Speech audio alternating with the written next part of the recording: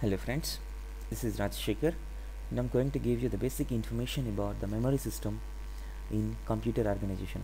This is the textbook of uh, Carl Hamacher by the publications of Tata McGraw-Hill, the fifth chapter. Now I'm going to reveal what are the different contents present in this memory system. Does we require uh, this memory system actually in the computer? So let's enter into the topic. These are the things that we are going to discuss in this chapter. There is the basic memory circuits organization of uh, main memory cache memory virtual memory and then the secondary storage. These are the different uh, categories of memories. Actually we need to think one thing. Does uh, we require all these categories? Memory circuit okay main memory cache memory virtual memory secondary storage. Absolutely we can say that all these memories are mandatory for us. Why? Because in today's world we need to uh, we have a every user or every person thinks just like uh, I have a memory with increased size, increased speed and with a low cost. Absolutely, that is this is not possible in today's world. Why? Because if we have the memory with increased size, and of course it may be take a cost less, but the speed is also less. If you want a more speediest device, it will take uh, more cost. So to satisfy all these requirements, that is size, speed, and cost criteria, we require all these memories called main memory, cache memory, virtual memory, secondary storage, and some other extra storage devices, whatever may be in the world. Right? To synchronize all these memories, we require different memories. Let's enter into the topic basic memory circuits. Here, the basic memory circuits, the first topic reveals about the different uh, circuits for designing such a kind of memories, that main memory and secondary memory, and so on and they discuss about the cache memory and then virtual memory mechanism and the secondary storage mechanism. In the today's session we will discuss about some basic concepts of memory. That is the basic introduction about the memory concepts. Right. In this memory concepts the maximum size of the memory that can be used in any computer determined by the addressing scheme. That is the most generally used pronunciation called 16 bit computer 32 bit computer or 64 bit computer what does it mean is if 30, if I said my computer is 32 bit computer that is the processor can able to do its operations in a 32 bit manner. If I'm using 64 bit computer the processor can able to do its operations in a 64 bit approach. That is the processor can able to allocate 32 bit address length or 64 bit address length. If my computer consists of 16 bit addresses it can able to generate 2 power 16 that is 64 memory locations on the computer. If I'm using a 32 bit computer that is 2 power 32 around 4 GB if I'm using 40 bit it's only around 1 tera address locations. It's two most then think 2 if it's a 64 bit it can generate so many teras. Right Mo most modern computers are byte addressable. What does it mean the byte addressability is a basic concept which assigns addresses for the bytes rather than words. Here, the word is a combination of bits or group of bytes. That is, if I said if it is a 16-bit or 32-bit or 64-bit computer, if I'm taking example of 32-bit computer, if my computer is a 32-bit computer, each word size is 32-bit. Right? In the, in the, in the total 32-bit, we have totally four addresses. That is four bytes 4 bytes consists of 4 addresses right? How we can give the addresses? And remember one thing the processor must and surely takes the data in the form of words. If I want if the, if the processor wants to access the data from this first byte it can directly select the entire word that is 0 1 2 3 the processor selects these 4 bytes of information. And of course it may takes the only required byte required byte information but it selects the entire word. Right how to assign these addresses? Suppose if i'm taking 2 power 16 16 bit addresses 2 power 16 is totally 64000 memory locations 64k memory locations. So it starts from 0 to 2 power k minus 1 here k denotes 16 if it is 16 bit 32 if it is 32 2 power 32 minus 1 64 2 power 64 minus 1 and so on so to assign the addresses for these bytes, we have two approaches that is big endian approach and little endian approach. In the big endian approach, in the, our big endian assignment, the addresses starts from the MSB position that is the left side position.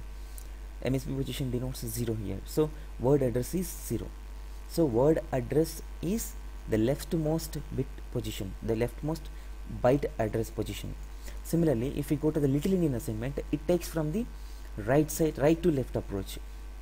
That is here the word address is lsb position address.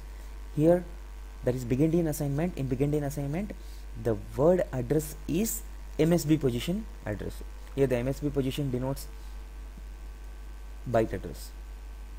Right? Msb 0 similarly lsb and some of the examples uh, for this is for uh, the most big endian assignment is generally used in 68000 processor developed by the Motorola. And little endian assignment is generally used by the Intel processors. And of course some of the processors may integrate both this according to the requirement. Big endian or little endian this processors is a general example for the ARM is the processor name which can be used either either both big endian assignment or little endian assignment. That's according to the requirement. Right. Let us enter in the traditional architecture of the basic introduction inter interaction about the processor interaction about the processor and the main memory. Right? In the processor we have many more circuits like program counter um, MAR, MDR, instruction register right? And so on. ALU general general purpose registers and so on. Many more content present in the processor. But we don't need to talk about all these things now. We're going to discuss about MAR and MDR these are the two registers which can be able to connect to the external memory. That is main memory. And the remaining all processors uh, ALU something else whatever it may be those are all communicated internally by in the processor itself. But if any information wants wanted by the processor it's been taken from the main memory to the processor with the help of this MDR otherwise if you want to store some information to the memory again also requires MDR that is to locate any address in the main memory that can be managed by the MAR memory address register MDR stands for memory data register. The name itself contains the solution.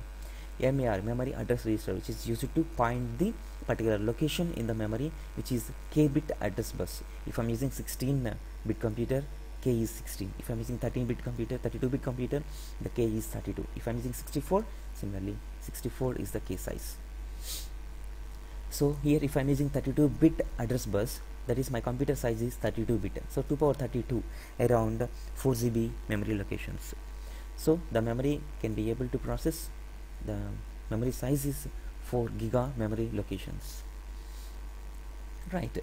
MAR and MDR these two are the only registers which can be able to access the mem memory main memory right. MDR is n bit data lines. Here the bus consists of n bit data lines which is used to retrieve the n bits from the selected word taken from the memory. Right. We are using one more control line so read write control line and memory function completed. This is one of the control line. The read write control line denotes the read write control line is 0 for write operation.